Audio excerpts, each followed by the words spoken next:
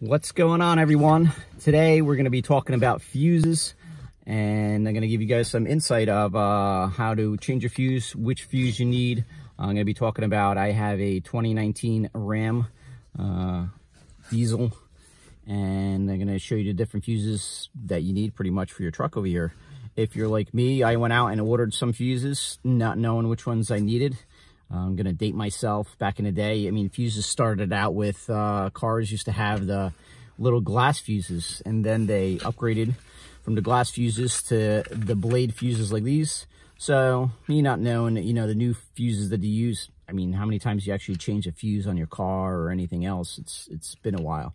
So I bought uh, pretty much a case of these, they call the ATCs, uh, fuses, the blade ones, and thinking that, you know, this is what cars use these days, or trucks, not knowing. Go there to go look inside uh, my fuse box over there, and they don't have those. They have the mini ones. Go out and you ordered some mini ones, and they have they have regular minis, but unfortunately the Ram comes with these. You need the Micro 2, the Mini 2s. That's what you need. Uh, I bought this little thing. It has about 50 pieces, seven of each blade. Uh, and it was like 20 bucks, which is good. But that wasn't the issue. Uh, these, the mini ones for your trailer, when you have to uh, have any issues with uh, the blinkers or whatever, uh, you use the 20 amp one for like the left turn signal or like the left side brakes, and then you use one for the right side turn signal, the right side brakes but I was having an issue that there was water inside the pocket of uh, the wiring and all that, so I blew my whole running running lights for my trailer. That actually uses these fuses. Now, these fuses, uh, it uses a 20 amp fuse. Uh, you have these, you have the, the deep ones, the short ones, all different ones. These actually cost about like $5 a piece. Uh, I would warn you that when you are troubleshooting make sure you check the whole trailer out, every possibility before you change a fuse and blow another one. Uh, when you go to AutoZone or say Advance Auto or Pep Boys or wherever to go buy these, they usually, if they have it in stock, if somebody else hasn't purchased it already, they usually have uh, maybe one in stock, maybe two if you're lucky.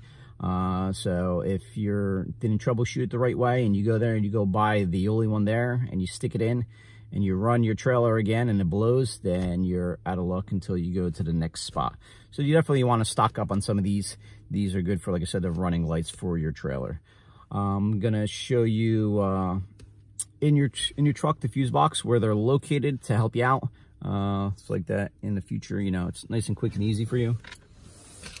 Uh, definitely check out with your truck uh, which blades they come with before you order them and just just stock up on them because you never know when you have to go through them and you'll easily go through like three or four of them trying to troubleshoot your trailer.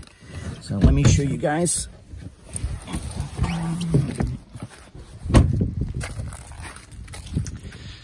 So this is your fuse box over here. You open this up.